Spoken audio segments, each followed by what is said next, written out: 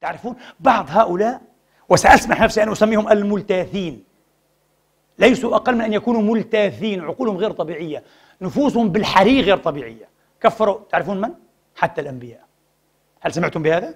طبعا كل دارس لجماعات التكفير في القرن العشرين ها يعلم هذا وقرأه غير مرة. نعم. هناك من جماعات التكفير ومشايخ وبلحى ويبكون في الصلوات. كفروا الأنبياء. يعني حتى النبي مش مالي عينه.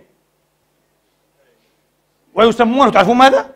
يسمونه التكفير اللحظي. قال لك آه النبي ممكن يكفر لحظيا بس بيرجع بتوب بس بيرجع مؤمن. يا سلام.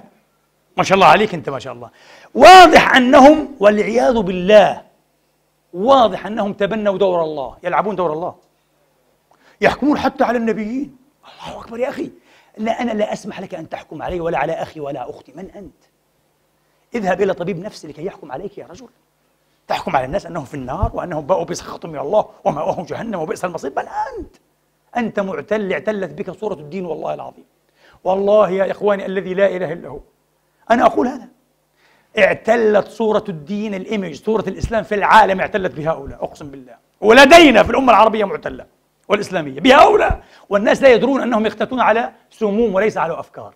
هذه ليست عقائد ليست فقها. هذه سموم سممت الروح. قبل أن تسمم العقل. أرواحنا مسممة. عقولنا طبعا مجتافة بالكامل ومسممة تماما. قال لك آدم كفر لما أكل من الشجرة. كفر لحظيا. وموسى حين ألقى الألواح كفر. هكذا يقولون. حين ألقى الألواح وفي نسختها هدى قالوا كفر. لكن كفرا لحظيا. لم يلبث ولم ينشب بعده أن عاد الإيمان. ونوح حين قال إن ابني من أهلي وإن وعدك الحق ها؟ قالوا كفر. وبعدين لم ينشب أن إلى الإيمان. إيه تبا لكم ولهذا الفكر. تبا لكم ولهذه الضحالة لهذا الإجداب الروحي. الأنبياء ما نجوا من شركم.